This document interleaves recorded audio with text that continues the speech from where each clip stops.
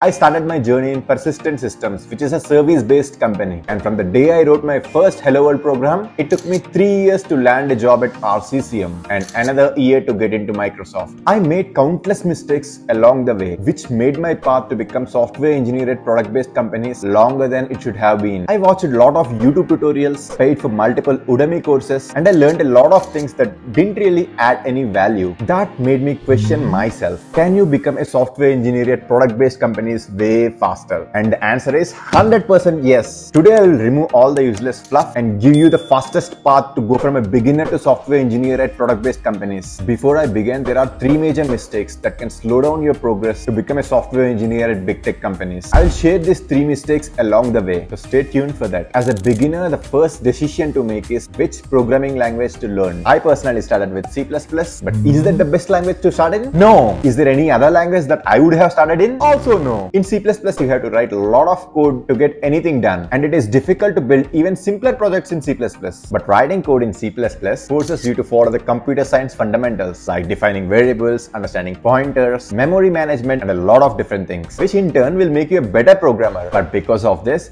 it is really verbose that you have to write a lot of code to get any simple task done. Also, C++ is not the beginner friendly language. You may not have all that time to spend on a single language. So I would rather suggest you to start with Python. Python. Is almost as easy as writing in English and it is extremely faster to write code in Python when compared to other languages. That's because you can get the very complex tasks done with just small amount of code. As an example, here is the sample code written in Java versus Python. Python also have so many different applications like you can do web development, automation, data science and machine learning and a lot more. Having said that, Java and other programming languages also have their own advantages. You will have to learn another programming language at some point of time in your career. For example, like I picked up Go language, Kotlin, Java and now C Sharp and a lot of different languages when I started working. So our main goal right now is to get started and not to be stuck learning the programming language. So I do believe that Python would be the best language to start with. Now that we know we should learn Python, but the question is how do I get started? Well, this is the part where most beginners make their first major mistake that slows them down. The mistake most beginners make is they learn by watching others code and even I kind of made this mistake. So I started watching tutorial after tutorial and I watched a ton of really long Python tutorials and I thought, okay, now I know Python. But once I started coding, I actually realized that I did not make much progress. See, the problem here was that I was watching other people code without ever writing writing code myself, but the only way to learn something is by doing it. Like I have seen Virat Kohli play cricket since I was a kid, but that doesn't mean I play like Virat Kohli. The same applies for coding. You can use this amazing website learningpython.org where you can start from the basics and you can skip a lot of data science related topics like numpys, pandas, etc. Each topic goes over basic concept and then you can do some exercise to solidify your learning. And finally, once you feel comfortable with Python, it is time to build some simple projects. You can use YouTube. I really like this freeCodeCamp channel. They have some of the best programming related content on YouTube and they have a few videos like this 20 beginner Python projects or this really famous 12 beginner Python projects where you build some really basic projects and then move on to really complex tasks. And once you have completed these sample projects, you can actually move on to your own project. Also building your own project will help you learn about how to use an IDE like Visual Studio where you write the code and where you debug your code, test your code and hosting your project, deploying and everything. Plus you will have a portfolio of projects which you can host on GitHub and which will help you build a solid resume resume. Next, you need to learn data structures and algorithms because most of the tech companies currently ask data structures and algorithms during the interviews. So it is pretty safe to say that data structures and algorithms are really important. So how do you start? Start with learning about time complexity and space complexity. That is just a way to measure your algorithm in terms of speed and amount of memory it takes. The lower, the better. Next, you need to learn about all data structures like arrays, stacks, queues, linked lists, heaps, graphs, what they are and how you code them. After solving problems like really simple ones like school level problems on practice.geeksforgeeks.com. Once you are comfortable with school level problems, you can move on to easy level, then medium level. And after that, you can switch to LeetCode because LeetCode easy problems aren't that easy. And the best way to do it is to try to learn about data structure or an algorithm, say binary search through YouTube or Geeks for Geeks and try to solve as many problems as you can for that particular algorithm because these problems make you think out of the box and it isn't intuitive at first. But once you start solving a lot of them, you will figure out that there is a pattern for most of the problems. Also, if you aren't able to solve a problem or if you are able to solve a problem, still try to go and read the editorial or the discuss section of LeetCode because you will be able to find all the different approaches for the problem and maybe there is a much better approach. You can also solve problems based on what companies recently asked. It is mostly community driven. As far as I know, it is free in Geeks for Geeks, but you may be required to get a premium LeetCode account for this feature. And to learn data structures and algorithms, I would suggest you to pick up a tutorial, be it free tutorial on YouTube or paid one, whichever helps you get better understanding on the topic. On YouTube, I really liked Abdul Bari's course on data structures and algorithms, and I have seen a lot of his videos in the past. Try to solve a few questions a day, then you should be good to go. Also, once you start feeling good with data structures and algorithms, you should start applying to jobs. And this is where people make second most common mistake, trying to be perfect. They either don't apply for jobs or they start applying way too late. You'll always feel that there is something missing, that there is something left that you have to do. You need more time. And that's a constant feeling and you will never get over it. That's how our brain functions. So it's better you apply as soon as possible and also try to apply to as many roles as possible. But before that, I would suggest you to make a really good LinkedIn profile. Try to fill out all the different sections. Add a nice profile picture, add your resume, add your skills, and try to add as many keywords as you can. Because at the end of the day, LinkedIn is a search engine recruiter used to search for candidates. Like I got my both interview opportunities via LinkedIn. Okay, so once you're done with that, try to reach out to your seniors, friends, and recruiters for job opportunities or referrals, whatever works for you. And you also have an option to apply to companies via their career website, but the response rate from their portal